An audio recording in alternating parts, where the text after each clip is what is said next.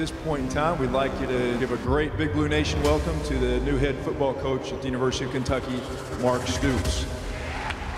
I cannot tell you how excited I am to be your football coach.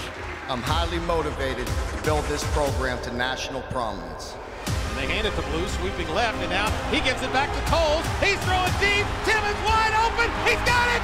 10,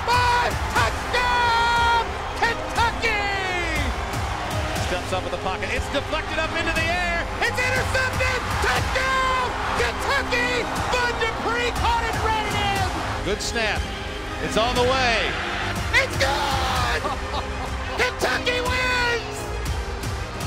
Austin MacGinnis is the hero!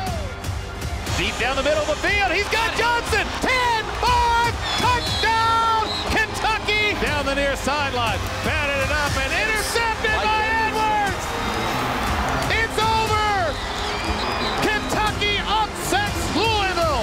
Bowden's out there. Got it! Touchdown! Kentucky!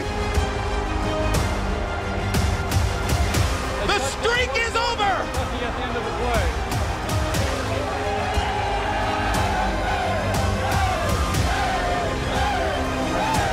He's gonna throw. Conrad! Touchdown! Kentucky!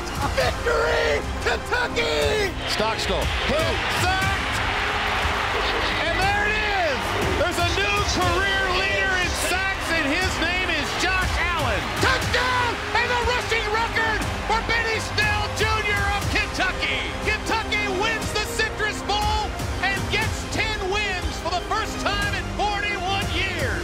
He throws over the middle of the field. Man out there. Touchdown! Oh, my goodness! Kentucky! Oh. It's Josh Ali to tie the game!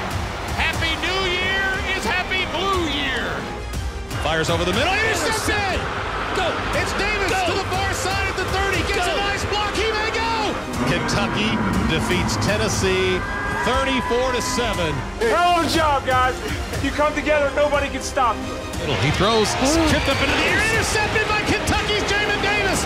Three straight bowl wins.